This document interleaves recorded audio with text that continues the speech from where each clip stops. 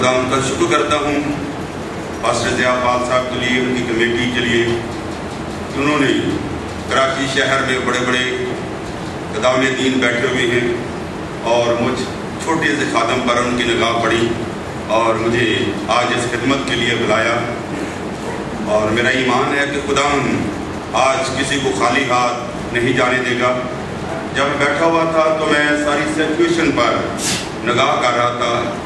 तो यसाया चौवन बाप उसकी दूसरी आयत की तकमील होते हुए मैं यहाँ पर देख रहा था। अगर आप जानते हैं कि वहाँ क्या लिखा हुआ है। यानी अपनी डोरियों को, अपने शहमागा को वसी कर दे। तो जहाँ, जब मैं आया था, जब मुझे याद है कि जब मैसेज किया था, ये उलपट वहाँ पर थी। और यहाँ पर कुर्सियाँ नीचे लगी रहती थी।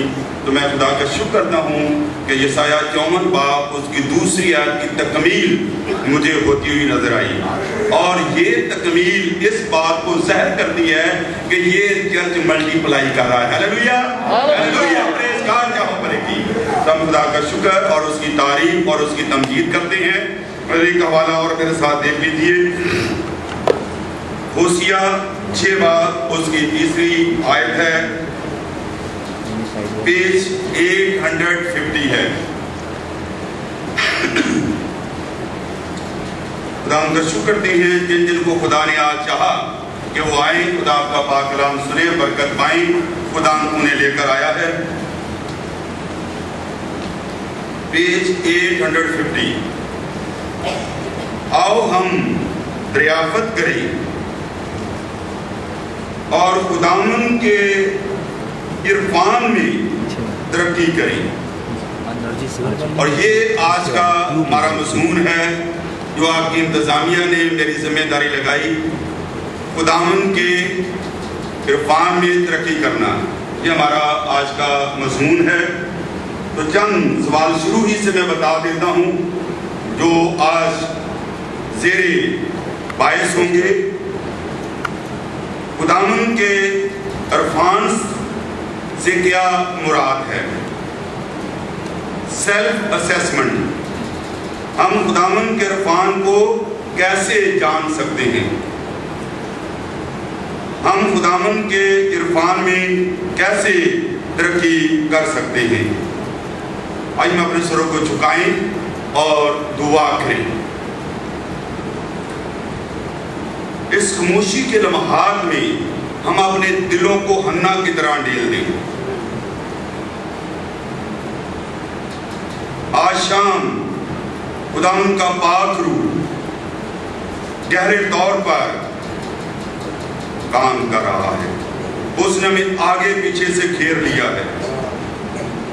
मैं ये खुशखबरी बताना चाहता हूँ, जब मैं अपने दवाइया कमरे में बैठ के दुआ कर रहा था तो खुदा ने मुझे बताया कि आज सात रूहें हैं।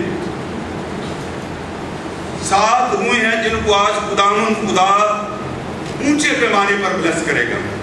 शायद हो सकता है खुदा उनके नाम भी ले मुझे आप लोगों के नाम शायद किसी के नहीं आते।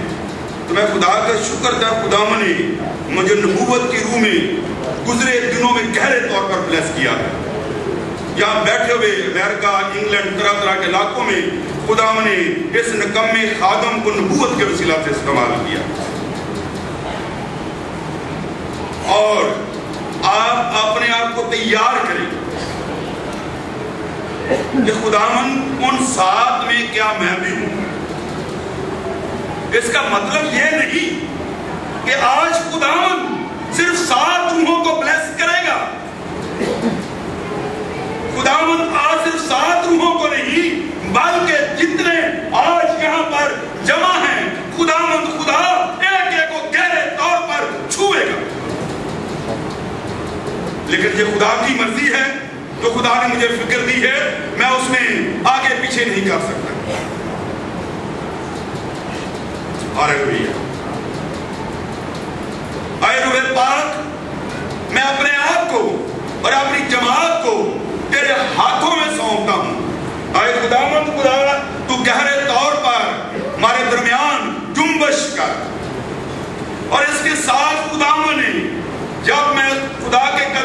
झुका हुआ था, वो दूसरी बार कलाम किया कि आज खुदा खुदा गहरे तौर पर बीमारों को छुएगा। किसी के हार्ट प्रॉब्लम है खुदा खुदा आज उसको उससे शफा देगा। क्रॉनिक से कोई मरीज़ यहाँ बैठा हुआ है, उसको खुदा खुदा शफा देगा। और हम अपने आप को तैयार करी, अपने आप को खाली कर दी। खुदा के कलाम को सुनने के लिए बेचैन हो जाए।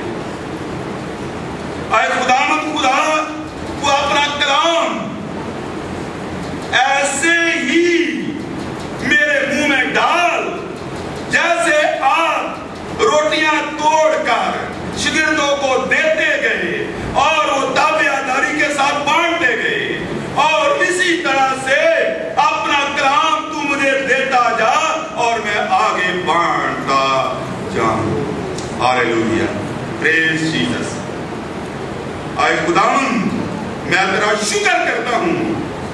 मैं देख रहा हूँ आसमानी मुकदसीन और खुदा का गहरा रूह कुदस का सनाटा यहाँ छाया हुआ है। खुदा के रूह ने हमें अपनी गिरफ्त में ले लिया है। आज की शाम यीशु की शाम है। आज की शाम शिफा की शाम है। आज की शाम नजात की शाम है। आज की शाम इरफान में बढ़ने की शाम है। हालेलुया। मैं देख रहा हूँ बहुत सारे लोगों को पाकरू गहरे तौर पर प्रेस कर रहा है। जैसे कि किसी कुशन पर हम बैठते हो दबती है और इसी तरह खुदा का पाकरू हमें दबा रहा है, हमें प्रेस कर रहा है। हालेलुया। अरे पाक मेरी मेरे ऊँटों का जिम्मा ले। मैं वही कहूँ जो तू चाहता है। शुरू से लेके आखिर तक आकर रो और दबदबा छह रहे। ये सब कुछ आपके नाम से मांगते और पा लेते हैं। आमीन। अपने स्वरूप उठाएँ। मैंने बताया जो ज़िम्मेदारी मेरी लगाई गई आज शाम के लिए, वो है खुदामन के इरफान में तरक्की करना। तो पहली बात हम ये सीखेंगे, इससे क्या मुराद है? और अगर हम इंग्लिश बाइबल को पढ़ें तो इरफान का जो तर्जमा किया गया है, हवाला जात आप नोट कर सकते हैं हबकूक दो बाप, चौदह और यसाया ग्यारह बाप, उसकी नौ है। वहाँ यूँ लिखा है, जैसे समुंदर पानी से भरा रहता है।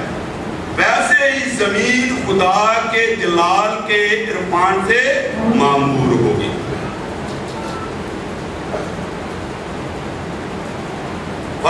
Earth shall be with the glory of God with the knowledge of God as the तो यहाँ इरफान के लिए जो लफ्ज इस्तेमाल किया गया, वो नॉलेज है। इलम है। और इसका उर्दू में हम देखें तो नॉलेज का तर्जमा क्या करेंगे? इलम, समझ, जानना। और उर्दू डिक्शनरी के मुताबिक इसका मफहूम ये है, शनाख्त, पहचान। और खुदा के इलम को जानना।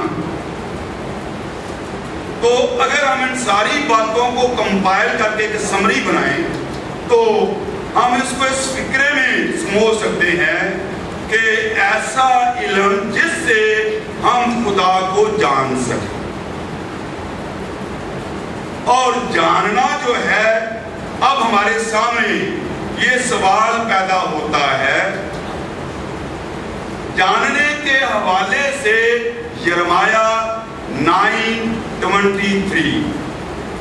खुदावन खुदा, यूँ फरमाता है कि ना साहेब हिकमत, अपनी हिकमत पर, ना कौवी अपनी कुवत पर, ना दौलतमंद अपनी दौलत पर फख्र करे अगर कोई फख्र करे तो इस बात पर फख्र करे कि मुझे जानता है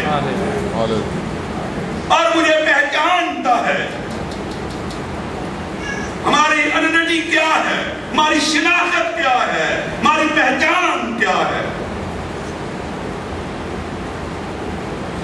और आज का मजमून है खुदावन के अरफान में तरक्की करना। और अगर इसके साथ हम, मैं आप लोग उठा के तीन बाब उसकी अठारहवीं आप में लेके जा रहा हूँ। और यहाँ ये लिखा है कि खुदा पालूस रसूल के दिल में भी यही आग है। और वो आग क्या है कि हम इस रूपान को किस हद तक जाने? क्या लिखा है? अगर आप जानते जबानी कि खुदा की चौड़ाई को हम जान सके, खुदा की लंबाई को हम जान सके, खुदा की ऊंचाई को हम जान सकते और खुदा की पस्ती को हम जान सके। इन चारों लफ्जों का जो वो मोहब्बत है। यानी मोहब्बत के अरफान में, मोहब्बत के समुंदर में हमने तरक्की करनी है। उसमें हमने बढ़ना है। और खुदावन खुदा चाहता है कि हम खुदा को पहचाने खुदा को जाने अब सवाल ये पैदा होता दूसरा सवाल है दूसरा सवाल ये है कि हम खुदा के इरफान को कैसे जान सकते हैं खुदा को कैसे आसान लफ्जों में, खुदा को हम कैसे जान सकते उसकी लंबाई चढ़ाई गहराई, ऊंचाई को हम कैसे जान सकते हैं? और उसकी मोहब्बत के था, गहराइयों को हम कैसे जान सकते हैं? तो हमें सख्ती से मना किया गया कि हम अपनी किसी फख्र करने वाली चीज़ पर फख्र ना करें। और इसके लिए आप हवाला देख सकते हैं फिल्मियों तीन बार पाँच से आठ तक। यहाँ पर पारूस रसूल जो है, अपनी चोटी के साथ का ज़िक्र करता है तो वो कहता है कि मैंने इन सबको कूड़ा समझता हूँ। और कूड़े की आप जानते कि क्या वैल्यू होती है? कोई संभाल के नहीं रखता। वो अपने सारे साथ बड़े बड़े नसब और हसब नसब की बातें करता है और और उन सारी अपनी शरीयत की बात करता है। वो कहता है कि मैं इनको पूरा सकूँ ताकि मुझे खुदा का इरफान किसी तरह से उसको पालू, उसको जान। तो अब सवाल ये पैदा होता है कि हम खुदा के इरफान को कैसे जान सकते हैं? खुदा की मोहब्बत को कैसे जान सकते हैं? खुदा की खुदाई को हम कैसे जान सकते हैं? हम किस तरह उसकी लंबाई चौड़ाई को जान सकते हैं? तो अगर हम उसको जानना चाहते हैं तो गौर से सुनिए। हमें खुदा यसु नगरम खुदा को जानना चाहते हैं तो मसीह यस्सु को जानने। और अगर हम मसीह यस्सु को जानना चाहते हैं तो फिर हमें उसकी सलीब को जानने की ज़रूरत है। सलीब की सच्चाई को जानने की ज़रूरत है। सलीब की फिलासफी को जानने की ज़रूरत है। सलीब की हकीकत को जानने की ज़रूरत है। और अगर हम सलीब को जानना चाहते हैं तो फिर हमें कलाम को जानने की ज़रूरत है। और अगर हम कलाम को जानना चाहते हैं तो फिर कलाम को हमें पढ़ना पड़ेगा। स्टडी करनी पड़ेगी। नहीं कि पढ़छतियाँ तेनों रख दी संभाल के। खुदावन के कलाम को हमने पढ़ना है और मैंने एक चेन आपको बताई है और इनके बारे में मैं इतना ज़्यादा आप लोगों से बात नहीं करूँगा। समझे कि मैं क्या कहना चाहता हूँ। और खुदामन खुदा चाहता है कि हम अगर किसी को हम जानना चाहते हैं आपका कोई पसंद का हीरो हो या कोई और शख्स हो तो आप उसके साथ बैठेंगे, उसकी गुफ्तगू करेंगे, उसके साथ बातचीत करेंगे, उसकी किताबें पढ़ेंगे, ताकि आप उस शख्स को जान सकें। तो खुदा के अरफान में जाने के लिए, समझने के लिए और उसकी गहराई तक जाने के लिए हमें कलाम को और इससे हमें मसीह का पता चलेगा इससे मसीह की सलीब का पता चलेगा। और इससे जो है हमें आ, इस रूहानी इरफान के अंदर जो है हम आगे बढ़ेंगे और तरक्की करेंगे। अब सोच के साथ ये कहना पड़ता है कि हम अक्सर मसीही जब जैन कुंद जैन वाकया हो गए मैं ये सोचता हूँ कि अदाकार जो होते हैं वो बड़ी बड़ी जो अपने मुकालमे जो है जबानी याद कर लेते हैं। हमें एक हवाला अगर किसी को बोल दिया जाए पाठशाह बोले कि ये हवाला पढ़ के जबानी एक चैप्टर सुना दे तो हमसे एक चैप्टर भी जबानी याद नहीं होती। हम कलाम को पढ़ नहीं सकते। और यू कहता है तेईस बाग की बारहवीं आयत में कि मैंने तेरे कलाम को अपनी ज़रूरी खराब से ज़्यादा जखीरा किया। तो खुदावन ये चाहता है कि हम कलाम को पढ़ें। मुझे याद आ रहा है कि एक वाक्य इस हवाले से, कलाम को पढ़ने के हवाले से, स्टडी के हवाले से। कोई कलाम को पढ़ना एक अलग बात है, और कलाम की स्टडी करना, टाइम निकाल के पढ़ना उसको एक अलग बात है। अक्सर हमारी जो रूटीन है, ये है कि हम सुबह उठते जल्दी जल्दी और फाल खोलते हैं, फाल खोलते जो भी सामने आ गया, वो हवाला पढ़ लिया और इसी तरह एक शख्स था वो उसने खोला और जैसे उसने बाइबल को खोला तो उसने कहा कि उसने अपने आप को में कर ये तो आज सुबह सही नहीं हुई। ये तो कलाम मेरे लिए नहीं हो सकता। फिर उसने बंद किया और दोबारा खोला तो वहाँ ये लिखा हुआ था कि जा तू भी ऐसा कर। ये दो अलग अलग कहानियाँ अगर उसको कलाम की आ, की समझ होती तो वो समझता कि ये हवाला क्या है। हमें पता ही नहीं है। कलाम की स्टडी में हम बढ़ते नहीं हैं। अगर आप खुदा के कलाम में बढ़ना चाहते हैं, तरक्की करना चाहते हैं, जानना चाहते हैं तो फिर हमें कलाम को जानना लाजमी है। मैं जो बात कर रहा था, अर्ली एटीज के अंदर ब्रदर बताशा सेवेंटी फोर गार्डन चर्च में उन दिनों में कन्वेंशन हुआ करती थी। उसने पुलपट से एक जुमला कहा और उस जुमले ने मुझे हला के रख दिया। आई टुक एज ए चैलेंज वो क्या था? उसने कहा कि मैंने पूरी बाइबल तीस बार खत्म की तो मैंने ये चैलेंज लिया कि brother बतारशाह can read thirty time bible बदाय से लेके मुकाशफा तक। Why not brother Javed? के और आपने देखा है कि मैं हवाले बोले नहीं खोलता, खुदा ने मेरे अंदर ही कलाम को डाल दिया। और आज के दिन तक मैंने थर्टी एट टाइम छत्तीस बार मैंने इस कलाम को खाया है। बदाय से लेके मकाशवा तक इस कलाम को की मैंने स्टडी की है। और पढ़ना और लग बात है स्टडी करना एक लग बात है। जब आपके पास टाइम हो और कलाम को खुले जहन से पढ़ें। अगर आप तरक्की करना चाहते इस कलाम को खाजे इस कलाम में सब कुछ है। इस कलाम में छुपा है। मुझे लिखा है कि खुदा लिखा इसमें ये पदाश पहला बात पहली तीन हज़ार पढ़ के देखे। लिखा खुदा की रूह पानियों की सदा पे जुम्बश करती थी। बट नथिंग हैपन कुछ नहीं हुआ। लेकिन जब कलाम किया तो कुछ होने लगा। जो चीज़ें नहीं थी जिनका वजूद नहीं था, वो वजूद में आना शुरू हो गई। ये है कलाम की पावर, ये है कलाम की कुदरत। कलाम को खा जाए। कलाम को खा जाए। डॉक्टर योंगेचू की तब्दीली इस कलाम के वसीला से।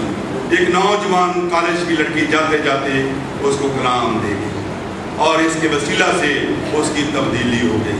आज दुनिया कहती है कि यह कलाम बदल गया है मेरी बहन मेरे भाई ये कलाम नहीं बदला बल्कि पढ़ने वालों को क्या करता है बदल देता है हालेलुया जय हो परे की ये पढ़ने वालों को, उनकी जिंदगियों को, उनकी केमिस्ट्री को, उनके एबीसी को बदल देता है चेंज कर देता है, उनकी शिरस को चेंज कर देता है।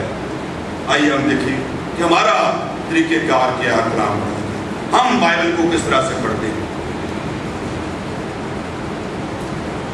की सूरत में, खोलने की सूरत में या हम कुछ घंटा डेढ़ घंटा दुआ में बैठते हैं जगा लें मैं अक्सर ये लफ्ज़ इस्तेमाल करता हूँ कि हम पढ़ने के बाद जगाली करें आप जानते हैं कि जानवर कितना खाते हैं और कितने परसेंट जगाली करते हैं? जानवर जो है, हंड्रेड परसेंट में से पंद्रह परसेंट जब खाते हैं और पचासी परसेंट जगाली करते हैं, एटी फाइव परसेंट। तो हम पढ़ने के बाद कितनी जगाली करते हैं? उस कलाम के ऊपर कितना मेडिटेट करते हैं? और जब तक आप कलाम को नहीं समझेंगे, आप खुदा के इरफान में तरक्की नहीं कर सकते।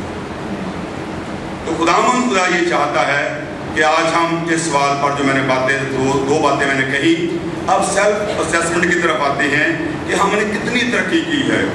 मैंने ये पूरा ग्राफ तो नज़र नहीं आना जल्दी जल्दी मैंने बनाया था। ये आप लोग देखें एक ग्राफ है और स्पिरिचुअल ग्रोथ का ग्राफ है। और एक दरख्त आपको नज़र आ रहा होगा, ठीक है?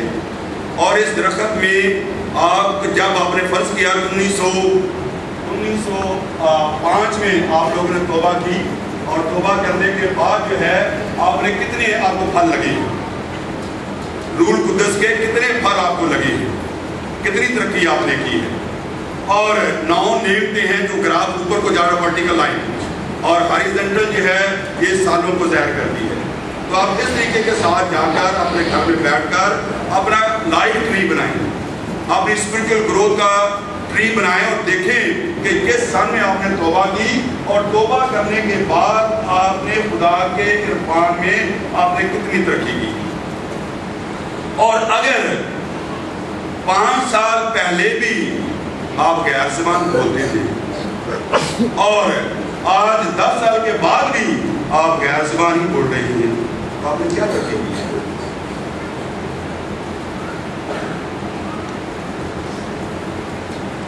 इसका मतलब हुआ कि दस साल के बाद भी हम एक दिन के समझिए मैं क्या कहना चाहता हूँ? तो हम खुदा इस तरह से हमारी रूहानी तरक्की रुकी हुई है। हमारी स्पिरिचुअल ग्रोथ है वो रुकी हुई है। अगर हम ये दावा करते हैं कि we are born again Christian हमें पाक रू का तजर्बा है, हमें हमें नई ज़िंदगी मिली है तो मैं वॉच का इस स्टेटमेंट को आपके सामने शेयर करता हूँ कि अगर आपको पाक रू का तजर्बा है और अगर आप उसमें तरक्की नहीं कर रहे तो आप उतने ही गुनेगार हैं जितना कि एक शख्स जिसने आज तक तो ही नहीं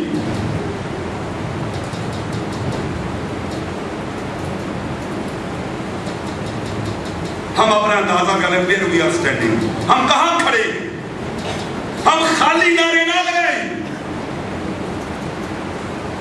खाली बानों पे ज़ोर ना दें। हमें खुदा के इरफान में बढ़ना है। अगर आज हम दुनिया को जीतना चाहते हैं तो हमें सलीब पर से दहते हुए कलाम की ज़रूरत है। कि हम इस तरह से कलाम बयान करें कि लोगों की जिंदगियाँ हिल जाए?